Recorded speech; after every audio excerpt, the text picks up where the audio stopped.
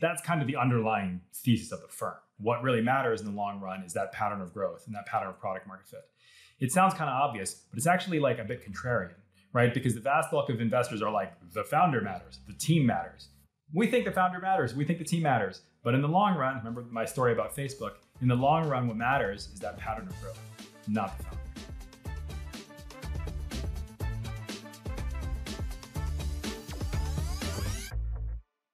Welcome to the Limited Partner Podcast, where we talk about venture capital through the lens of limited partners. I'm your host, David Weisburd, co founder and head of venture capital at 10x Capital. The world of LPs can be notoriously private and discreet. But on this podcast, we speak candidly with limited partners about their true feelings on venture, the ecosystem in 2023 and beyond. Jonathan Hsu, pleasure to be introduced to you. Welcome to the Limited Partner Podcast. Special shout out to Abe Othman, head of data science at AngelList, who previously interviewed, who was kind enough to make the introduction. First, Jonathan, we're going to start with your origin story. Every great superhero has an origin story. So, what is your origin story? Yeah, yeah, happy to happy to walk through it. Um, thanks so much for having me here. Um, you know, my my own background, uh, I actually started life uh, as a physicist. Uh, I did my undergrad and PhD uh, in physics. I did my, my, PhD was actually studying quantum gravity at Stanford, truly sort of the height of uselessness. And uh, towards the end of it was just clear I didn't want to be an academic, so ended up going into technology. This was like 2006 era. Um, spent a little time at Microsoft. Uh, ended up co-founding one of these early social gaming companies. This was sort of in the in the era of um, of you know sort of crappy games on Facebook co-founded one of them back in uh, in 2006. It was called Superpoke, if you happen to remember that. Um, and we ended up selling that to um, uh, a company called Slide, which is Max Levchin's company. Between um, in between PayPal and Affirm, he was actually he had, he had founded uh, a social gaming company, and he acquired us. And so I went to run data for Max Levchin for a couple of years before being uh, recruited over to Facebook in 2009 uh, joined Facebook at that time. Uh, I was about the fifth data scientist, roughly, um, at, the, at the company. Um, really ended up uh, building out the whole data science and analytics org for Facebook. Uh, by the time I left uh, five years later in 2014, you know, company was like, you know, 15,000 people. I think the data science org was 200 people at that point, half of it, you know, reporting to me. You know, at that, that point had been spending a lot of time in big companies. So, you know, really wanted to try investing, was interested in finance and knew um, the folks over at Social Capital uh, which is you know a firm run by some ex Facebook folks, and uh, and joined Social Capital in 2014, uh, which is where I was for four years before um, before we spun out to create Tribe. So so going going to Berkeley. So tell me about that experience. What did you study, and how was that experience? I went to Berkeley initially wanting to be, uh, you know, pre med, wanting to be a medical doctor, but very on early on, sort of fell in love with math and physics and sort of just wanted to be a physicist. I wanted to be Richard Feynman. what about physics intrigued you? Uh, there's not many venture capitalists that are in the physics space. Why physics and why, why VC? Back when I uh, when I was uh, you know coming up, sort of working with Max Levchin, data science wasn't a term yet, right? What happened sort of in the in the late 2000s, there was sort of this big data, big data, big bang that occurred in the mid 2000s. You know, in um, in about 2005 to 2008, all of a sudden it became cheap to store and compute on very large amounts of data, right? You know, if you go in the 90s, like people didn't have a ton of data because it was expensive and impractical to store it. But then starting in the mid 2000s, all of a sudden people had tons of it. And so if you have a bunch of data, what do you do? Well, you hire some PhDs to throw at it. Let the PhDs figure it out. And I was one of those PhDs in that era, that early era of um, you know of data science. And really, what we were trying to do is we were just trying to figure out we have these big data sets. How do we leverage them for business purposes? Right? Whether it be for building product, generating strategic intelligence, right? Helping us with with product strategy, whatever it is, how do we use the data to get, to get to the next level? And sort of there was a small group of us, um, you know, who were right of that era. Several of us happened to be PhDs in physics, um, you know, um, who were all exploring these things. And invariably, you know, when you have uh, a bunch of physicists around it, they try to make models out of it. Well, let's create, let's use this model, that model, and you know, we developed a bunch of these different analytical techniques to leverage that data. Um, this really sort of came to its really full expression at Facebook. This was early stage, uh, move move fast and break things. Mark Zuckerberg famously called that era uh, of Facebook. How, how was the early days in Facebook, and what did you learn from that experience uh, of working with Chamath, working on the growth team, and working at Facebook as an organization? Yeah, I would call it. It was kind of middle days. It wasn't super early right? This was sort of the era of a few thousand people at the company. So it wasn't like tens of people, but it was a few thousand. It was, and it was nonetheless a very interesting, you know, it was sort of in that interesting zone between, because it had gotten to that scale of employees very quickly, right? Um, and so it still had a lot of these behaviors internally that were much more small company oriented, you know, which was included the ability to move super fast, which was really good. And um, you know, there there was sort of it was an important episode there, right? In, in 2009, when I joined Facebook, was just the era when it was just barely clear that that it hit. Well, it was more or less clear that it had defeated MySpace and that it was going to win, right? At that point, those other social social networks were still bigger, but the speed was there, right? Um, for Facebook. What allowed Facebook to really leave the pack? Uh, a lot, as you mentioned, it's not just MySpace. MySpace, people forget, had a good outcome with a half billion dollar exit. There was other social networks. What really differentiated the team at Facebook? Yeah, you know, I think this is this is sort of the fundamental question and the and the fundamental driving question for all of my work since Facebook, right? And I think there's a bit of intellectual humility of knowing of noting that there's no one thing, and it's kind of foolish to think it's just one thing, right? And I think that's there's sort of an aspect of it that's the team, right? The team was special. The era in history was just right right? Like they were able to sort of catch, there was this moment, right? They sort of did a really good job through the desktop era. And then when the phone happened, when the mobile phone happened, Facebook did a really good job of taking advantage of it. Facebook was able to take advantage of a lot of that, right? Um, and WhatsApp, so on and so forth. And, and you know, what we believe uh, here at, Tribe is that the underlying bit is really about the, the sheer momentum of product market fit, right? Once you get the right pattern of product market fit, once it starts really moving, it'll just keep going, regardless of anything right?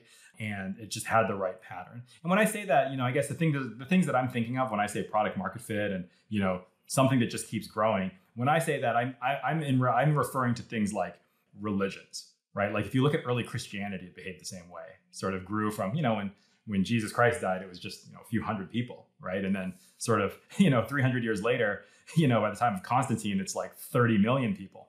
It just happens. It just it's able to maintain its momentum through a lot of through a long era.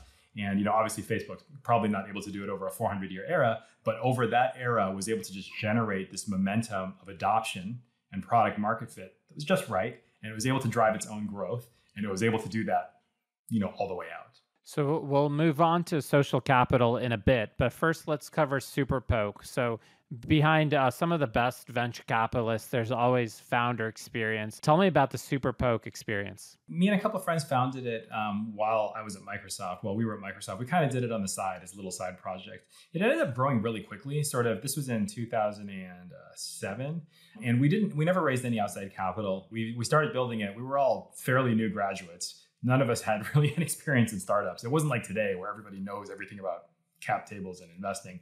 You know, back then we didn't really know. We just built something because we thought it was amusing, and it grew really quickly. And then um, it was actually Keith Rabois that reached out, um, you know, with an interest to acquire us. I think we were only two months old or so. Uh, we were like, oh, this this looks cool. Let's go work at a startup in San Francisco. We didn't really think through, oh, did we build something super valuable here? Blah blah blah.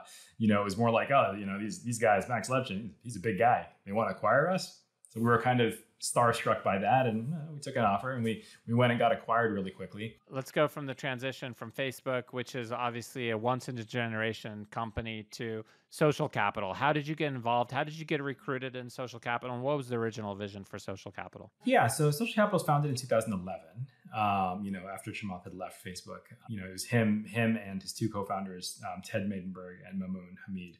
Um, Ted is now one of our co-founders at Tribe, and Mamoun is over at Kleiner and I joined them in 2014. And really, the idea when I joined them, um, you know, there was there were a couple folks there from from Facebook, and and the idea of me joining was really to to sort of continue building out this data driven growth mentality and applying it to the venture capital world at large. Right. The vision back then was this was 2014, right? Um, so Andreessen Horowitz at that point was a couple of years into building out their market development team. Right. Prior to, to Andreessen's market development team, venture firms were all kind of the same they were all just kind of like small boutique investment firms. And Andreessen Horowitz had this idea of, oh, we're going to build a capability. We're going to invest in this capability, market development. We're going to help our portfolio companies with enterprise sales, right? And, and it became a thing, right? And so, and that Social Capital, part of the idea was, oh, let's let's take the growth team thing that we did at Facebook. Let's make that like our special thing that we give to portfolio companies.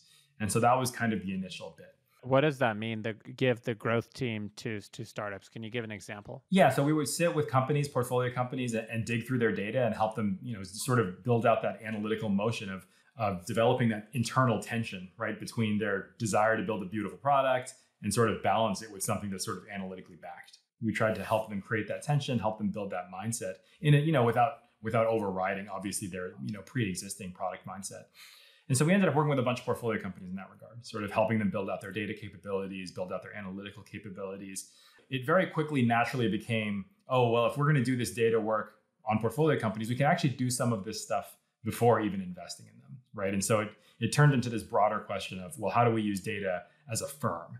You know, we can use it we can go into portfolio companies, help them with their data, but we can also use it in the investment process. And it wasn't just us. You know, you, you guys chatted with Abe, you know, um, before. There are several firms that sort of in the mid 2010s were playing around with using these data techniques to do various, to help with various aspects of venture investing. We happen to start from the lens of portfolio company, you know, sort of value add, but it's very clear that you can do many other things, right? Sourcing and evaluating and such. You know, also with my partners here at Tribe as we spun out, we, is that when you work with people who have been venture investors for a really long time, like 5, 10, 20 years, all of their regrets, their regrets that say, oh, I saw this thing, but I didn't do the right, I didn't make the right move, right? Like it's not, they don't, they don't usually say, I wish I had seen that thing, right? Because people who've been in venture for a long time, they see enough good stuff, but they make the wrong call, right?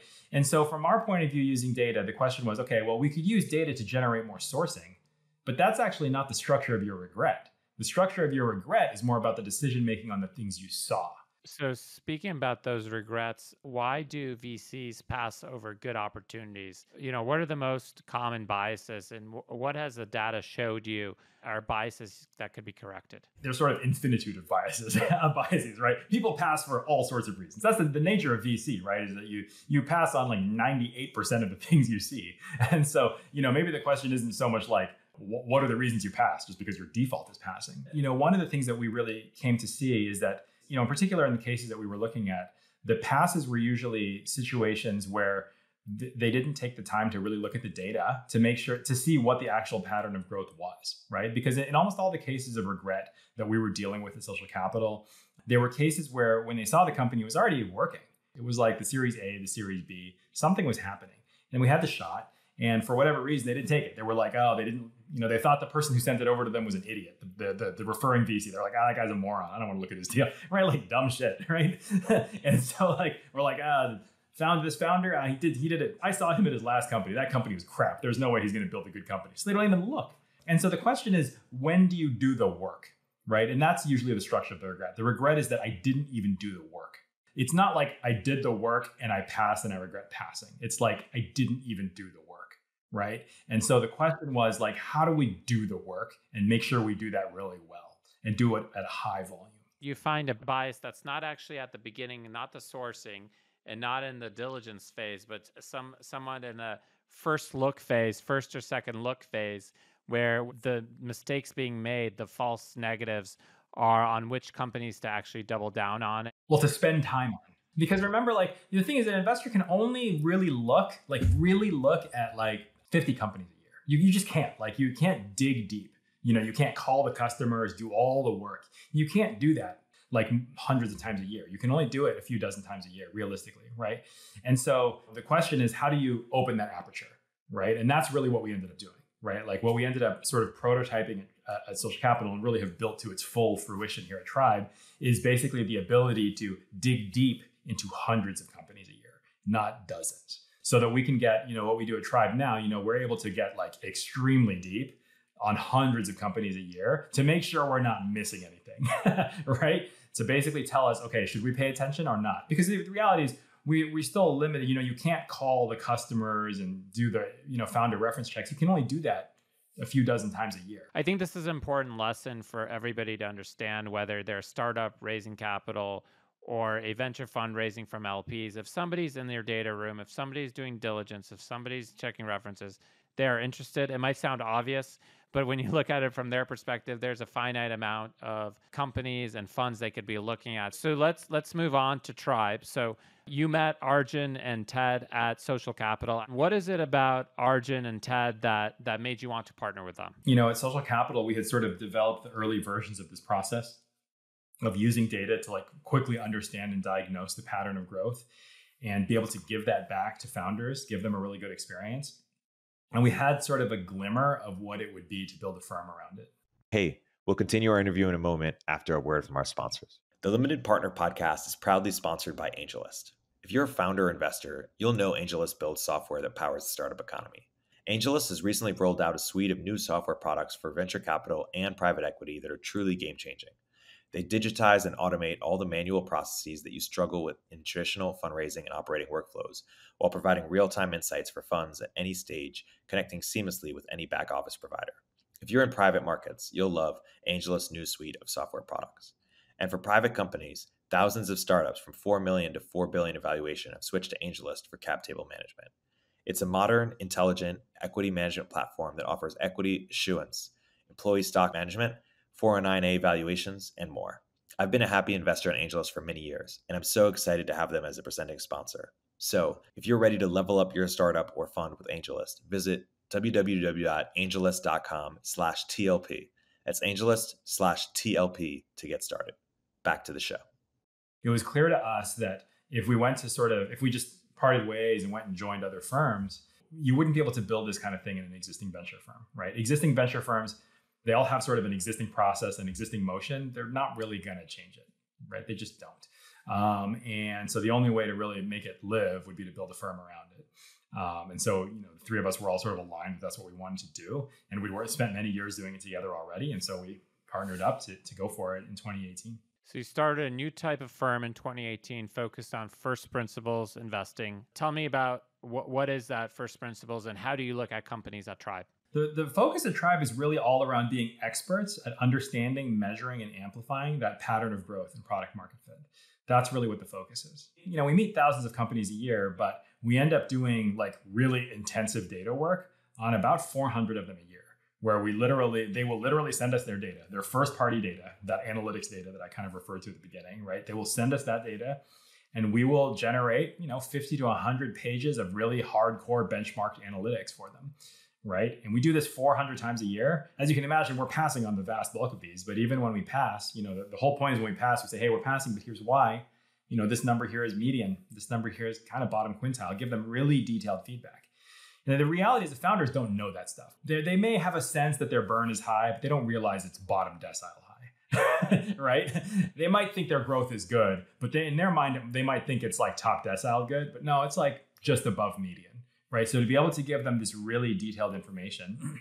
And so founders, you know, what they say is that I'm bummed you're passing, but thanks so much for this. You did all this work for me, even though you're not investing. Can I, you know, can I can I come back for my next round? Can I, you know, can I can I share it with my with my uh, with my investors, with my board, and so on and so forth. And the point the point is really that we're giving them something valuable. We're helping them, even though we're not investing. We generate about twenty thousand pages of analysis per year, but like eighty percent of that is just straight pass. Obviously, collecting data the whole time. But then in the top quintile, when the data looks pretty good, that's kind of the signal that we should go dig in and do do the work. Calling the references, calling the customers, and so on and so forth. But it's really all about like generating that value upfront so that we make sure we're looking at the right companies. And then if we do the diligence, if we pass and we mess up, at least like we saw, we knew what we were messing up versus like versus not even doing any work at all. You provide a lot of data another form of feedback to the entrepreneurs. Do you find a correlation between the entrepreneurs that take the data to heart and those that are successful ultimately? Not very much, but not for the reason you think. It's just because there are many founders who are very good founders who, who do a good job of taking the feedback. But the reality is that if their company doesn't have a good pattern of product market fit, it's not going to be successful. Right. And that's that's kind of the underlying thesis of the firm. Right. Like the underlying thesis of the firm is that what really matters in the long run is that pattern of growth and that pattern of product market fit. It sounds kind of obvious, but it's actually like a bit contrarian right? Because the vast bulk of investors are like, the founder matters, the team matters. We think the founder matters, we think the team matters. But in the long run, remember my story about Facebook, in the long run, what matters is that pattern of growth, not the founder. Yeah, I think you have di- two different camps in Silicon Valley. I think the reason the narrative around the founder uh, is more pervasive is because it's a form of marketing for the VC firms themselves. Yes. Back to my back to my Christianity example, it's the question of Christ himself versus the machinery of the church, the early church and their ev- evangelical behavior. So going back to to Tribe and the way that you're able to assess the 400 startups per year. So tell me a little bit about it. Is your is your data moat essentially recursive in that you're using all the data from the startups to to create these benchmarks and to create these medians? Is that is that the right way to look at it? Yeah, that's right. I mean, at this point, we have like 1,500 companies in our database. It's like, and it's when I say companies, I mean like utterly raw first party data. You cannot buy this data you can't go it's not like the kind of thing like another firm can't just be like oh i got set up i have this you can't buy this stuff right like the companies have to give it to you trust you with it one company at a time and the only reason why they trust us with it is because we give them back something so valuable that it's worth their time to come back that's the fundamental piece the goal for us right the underlying driver is for uh, we want to understand the nature of growth and product market fit it's bizarre that some things grow and some things don't it's like a weird thing and that's fundamentally what we're studying and obviously we're trying to invest in companies that have the, the most exceptional patterns it's not solvable, right? Like, why do some things grow and some things don't? It's, you know, if you study this in macroeconomics, you study this from the microeconomics point of view, you study phenomena like religions, it's not really clear. Like, there's many reasons why some things grow and some things don't. And like, that's fundamentally what we're interested in. And in, in terms of this data set, one argument might be that the data becomes a, has a pretty quick half life given the disruption of industries, the disruption of platforms. But the reality is this: like, the, if you're top quintile in this stuff, you're basically going to be top quintile. Maybe things move around on the edge a little. Maybe you know, maybe the thing that was median is now like 58th percentile, whatever. But, but we're not looking for the 58th percentile. We want to make sure you're loosely top quintile. So in, in which case we start paying attention, right? So over time things shift around a little bit for sure, but we're not trying to be ultra precise right? We're trying to, because there's no point in being ultra precise, right? We're trying to pick a company who's going to live over 10, 20 years. There's no way you're going to know. You're not underwriting to academic research or 95% confidence interval. You're underwriting to to return the fund. Well, yeah, that's right. I think w- the way we think of it is the data work is there to help us really ensure, okay, is this something that's worth spending our time on? Remember going back to the other thing that we discussed earlier. The real scarce resource is, you know, your ability to do all of that traditional venture diligence work. That's pretty scarce. You just can't spend you you only have so much finite time to do that. And so the data work is there to help us figure out where should we direct that resource. And so the whole point of doing the data work is so that we can do as much as possible through the data, make sure that we can direct the human diligence piece to the places where we think it's going to be best used. And then most of the data tells us where not to invest and then tells us where to pay attention. And then when we do invest, it's a combination of the data and all the all the traditional diligence work folding together. So another way to look at that is that the VC is essentially making investment at the time of diligence, not at the time of capital deployment. That is that is one way of looking at it, right? Because that is that is like you know it's a, it's a key scarce resource internally. To be clear, like our 50 page analytics, it would be actually basically impossible for like whatever a traditional VC principal to do something equivalent. Like they they just don't have access to the data. They don't have the analytical skill. It would take them a year or more to generate the level of analytics that we generate. And we generate that level of analytics in like a few hours. So, a lot of our uh, listeners, we like to uh, brag we have over a trillion dollars in assets listening to us. And a lot of them come from other assets and other asset classes that have uh, much more efficiency than I would argue venture capital has. How efficient is the venture capital market? And specifically, looking at the data that you have versus the top quartile investments and the investors that follow on in the in what you perceive to be the best companies how efficient is that well it's an interesting question i actually you know i would say that i don't think venture capital as an asset class is particularly efficient and the reality is you just don't know what's going to work at the beginning right like you kind of have a loose sense but I mean, the whole history of venture is stuff that completely surprises us. I promise I wouldn't delve too much into your secret sauce, but our, our listeners have been listening now for a bit. Uh, so can you can you open up the kimono a little bit and tell us a little bit about what the juicy data says about what's important uh, for startups? Yeah, in fact, it's all on our website. It's not secret at all, right? Uh, if you go Google Tribe Capital, or you look at our website in the essays section, there's an entire article about how we think about product market fit, a quantitative approach to product market fit. And there's a second article that's entirely our view on unit economics, right? And between those two articles, it basically outlines the entire thing. it's, you know, the whole point is to create a company, right, where you can find some pattern of growth, some pattern of product market fit that is economically reasonable, which is to say has unit economics that make sense, and such that that pattern will continue to hold as you scale the thing up by orders of magnitude. Right? You look for a company that expresses some unit economics, that expresses some growth pattern. Then the question becomes, okay, if I plug 10, 20 million dollars into this thing and they go spend that money on more engineers, on more sales and marketing people, is the pattern that I see, is it going to stay the same? Is it going to get worse? Is it going to get better? Right? And at some level, we obviously want to see ones that are going to stay the same or get better, right, over time. Realistically, they almost all get worse, right? They get worse because your early customers are early adopters, right? So your acquisition costs are lower. They're going to be more fervent users of your of your app, of your product, so their lifetime values are going to be higher. So your unit economics are only going to get worse from the beginning. So when you see a company that already has like weak economic structure at the beginning, you're unlikely going to be in a situation where it's going to magically improve. All the data that we do is all oriented around an implementation of this thesis around growth and product market fit. It's all out there. so let's talk about a topic no one is talking about today artificial intelligence and AI. How, how does that affect uh, your your strategy and do you see uh, tribe ever going 90 95% ai driven um, yeah so to be clear we use it right? I mean, like a lot of our technology, you know, I told you that, we, you know, we have this giant technology stack that we've built. We're generating tens of thousands of pages of analysis per year. More and more of that right now, we're actually utilizing AI to actually help us write those, those memos. We're, I mean, we're basically, there's no way to generate that volume of analysis with a small team, right? If you don't use a lot of machines to help you.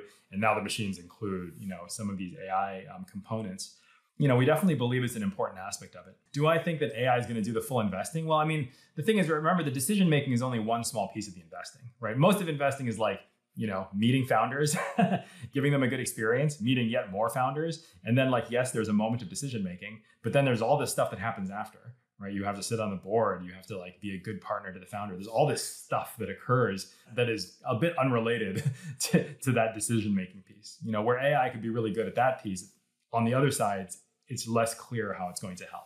Much less talking about the LP side, right? Like remember that a big part of what VCs do, right, is fundamentally we're there to help implement, you know, views for our for our LPs, right? Make returns for our LPs via whatever mandate it is that they're giving us, right? And so, in so much as asset management itself could be taken over by AI, perhaps we could. Uh, but since I don't see that happening anytime soon, I doubt that it's going to fully take over our work either. So we're in the middle of a correction right now in 2023. Uh, where do you see the future of VC? Are there going to be more firms like Tribe that come come across, or is it going to be amalgamation of AUM alongside the the top top the Sequoias and the Andreessens of the world? It's been a you know fairly good past half decade or past decade to start VC firms. There are a lot of firms that, that came up over this last decade that are sort of in the early part of their life. It's kind of incumbent on us to go find capital and to go develop our mandate and make good investments, right? Like I said, I think the underlying driver is really the, the growing appetite of venture capital as an asset class amongst allocators. And while it's true that they all may want to be in benchmark or whatever, it's just not going to make sense. For the largest funds that, you know, for the very big mega funds that that believe that they can provide, you know, this this product to that whole variety of LPs, I think they can. But the thing is that from those LPs' point of view, they will find over time that they want some more specific mandate to be executed. And it's unlikely the case that the mega fund will be able to execute their specific mandate because they're going to have preferences. And that's really what it is. It's about venture being able to provide venture as an overall asset class to provide LPs with various tools, various mechanisms. Yeah, and I think the nature of what is a return has changed. In 2021, it was TVPI. In 2023, it's DPI. I think that's interesting. I think an- another factor to add is, of course, diversification, stage, hold period, all these things well, Jonathan, uh, it's been a pleasure. You came highly recommended from Abe. I could see why. Venture capital, ultimately, when uh, it's seen as an asset class over the last 10, 20 years, I think venture capital will ultimately be seen as driven as a science, non art. So it's a pleasure to meet with one of the top data scientists in the space. Thank you and hope to chat soon. Yeah, absolutely. Thank you. Thanks for listening to Limited Partner Podcast. If you like this conversation, please like, subscribe, and review on YouTube, Spotify, or Apple. Thank you for your support.